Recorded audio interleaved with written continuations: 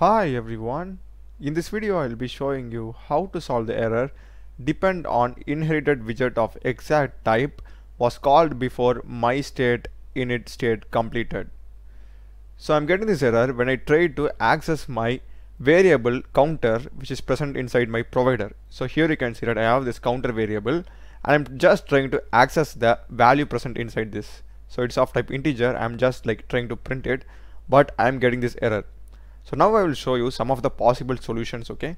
So first thing whenever you are trying to access value from a provider better have it inside init state. So here you can see that I'm trying to access this particular counter variable inside the init state and the fix for the solution is that you'll be having here context so just put a comma and you need to add listen as false alright the exact same thing that you have over here so pause this parameter and if I run my program now I'll just clear the console.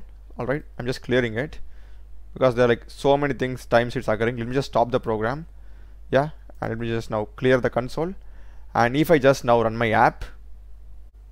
So here you can see right yeah these are some of just warnings because of the libraries that I've used.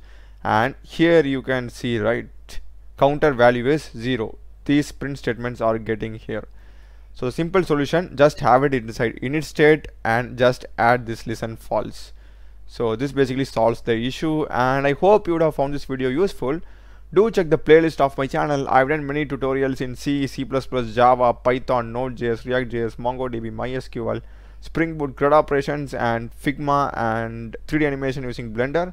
Check them out. Subscribe me. Thanks for watching.